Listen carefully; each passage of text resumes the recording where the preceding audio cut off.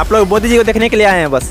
ऐसा ही आए हैं तो देख लेते हैं क्या है बूढ़ा बिहार की युवा अच्छा। भीड़ तो होगी आधे घंटे के बाद देखिएगा। भीड़ तो बाद। अभी तो सब लोग खा पी के सो के आराम करके आ रहे हैं।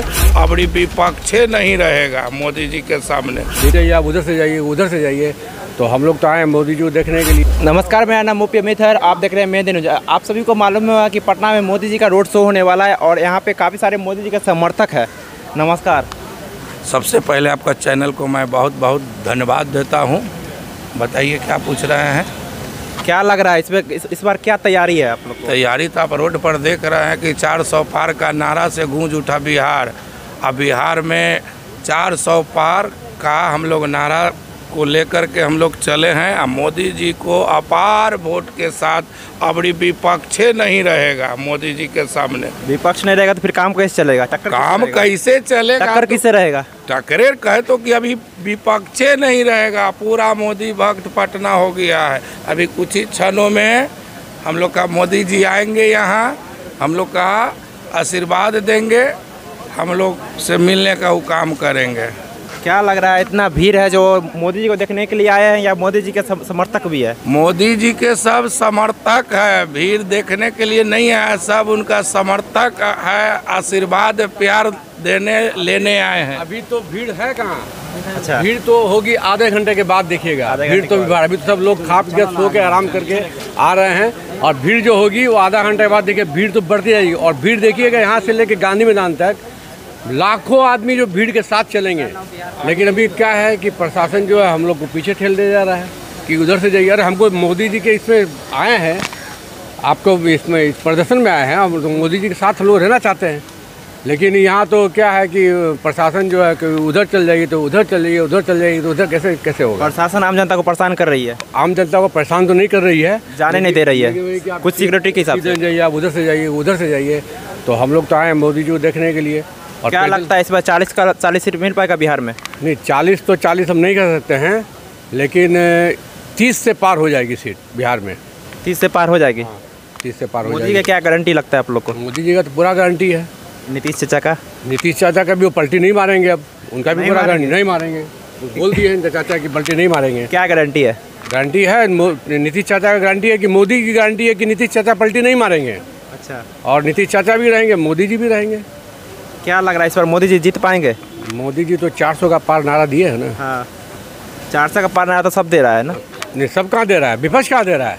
विपक्ष भी तो बोल रहा है जो हम हम जीत रहे हैं। कोई बोल कहाँ रहा है जो हम हार रहे हैं? वो तो सभी बोलेगा हम जीत रहे हैं। हाँ। वो तो निर्दलीय जो खड़ा हुआ है वो एक एक सीट लेके आएगा एक वोट भी लेके आएगा वो भी बोलेगा हम जीत रहे हैं। लेकिन मोदी जी 400 सीट जब नारा दिए हैं तो 400 सीट पार करेगी। अगर आप लोग से अगर पूछा जाए बिहार में जो पाँच कमी बताइए मोदी जी से क्या समस्या लेकर जाइएगा पाँच? मोदी जी से पाँच समस्या बिहार बिहार का लॉ एंड ऑर्डर जो है उसको और सुधारना है बिहार का। और बिहार में जो गरीबी है वो गरीबी को दूर होना चाहिए। और जो जातिवाद जो यहाँ चल रहा है जातिवाद नहीं होना चाहिए। सब बिहार के लोग सब मिलजुल कर रहना चाहिए। अच्छा। बिहार में जातिवाद खत्म होना चाहिए। क्या लग रहा है इस बार मोदी जी जीत जाएँगे तो खत्म हो जाएगा जातिवाद? प्लस बेरोजगारी खत्म ये ये बे- बेरोजगारी खत्म हो जाएगा ये तो गारंटी नहीं दे रहा हूँ। हाँ। लेकिन बेरोजगारी खत्म होना चाहिए मोदी जी आएँगे और बेरोजगारी खत्म होनी चाहिए बिहार में शांति होना चाहिए बिहार का तरक्की होना चाहिए। क्या लग रहा है इस बार मनीष कश्यप बीजेपी में गए हैं? तो कुछ कर पाएँगे बिहार के लिए? मनीष कश्यप? हाँ। नहीं मनीष कश्यप तो अभी नए नए आए हैं बीजेपी में हम उनके बारे में नहीं कर सकते हैं कुछ भी। मनीष कश्यप के बारे में कुछ नहीं कर सकते हैं। कुछ नहीं कर सकते। उनका अभी तो ये भी तो ज्वाइन किए महीना भर पहले तो ज्वाइन किए वो। तो उनके बारे में कर नहीं सकते हैं। आगे उनका जो योगदान रहेगा बीजेपी में और बिहार के प्रति बिहार के लोगों के प्रति तब कह सकते हैं उसके बारे में। अच्छा। हम्म। आप कहाँ से चाह? आप कहाँ से हैं? तो यहीं पटने घर है। क्या कहना चाहिएगा? मोदी जी आ रहे हैं क्या तैयारी है आप लोग की? समझ में आवा वही सब। कुछ नहीं समझ में आता है। आप कहाँ से अंकल जी? आप कहाँ से भैया? बताइए हम पटना सिटी से हैं। आप तो लग रहे हैं स्टूडेंट है युवा है बिहार के भविष्य है। हाँ जी क्या कहना चाहिएगा? मोदी जी आ रहे हैं। मोदी देखिए कोई भी नेता नेता रहे वो अपना वो वोट के लिए अपना कुछ भी कर देंगे ठीक है ना? हम सब शुरू से ही आरजेडी के फ़ैन हैं। अच्छा। आरजे के आरजेडी के फ़ैन थे हैं और रहेंगे हमेशा वोट देंगे ठीक है ना? आप लोग मोदी जी को देखने के लिए आए हैं बस? ऐसा ही आए हैं तो देख लेते हैं क्या है बूढ़ा? बिहार की युवा क्या सोचती है मोदी जी के बारे में? क्या सोचेंगे क्या? किस नज़र से सोचती है? देखिए सबका अलग अलग मानना है। अच्छा है लेकिन देखिए देश पर बहुत लोन है जब से मोदी आया है जैसे लोन बहुत हो गया है। पहले लोन नहीं था कांग्रेस था तो? था लेकिन बहुत कम था।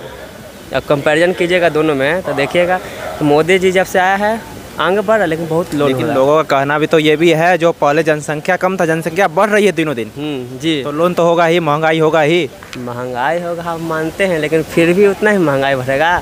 बताइए नॉर्मल आदमी तो अफोर्ड नहीं ना कर पाएगा। तो हम तो मेरे ओपिनियन से ये सब नहीं है ठीक है?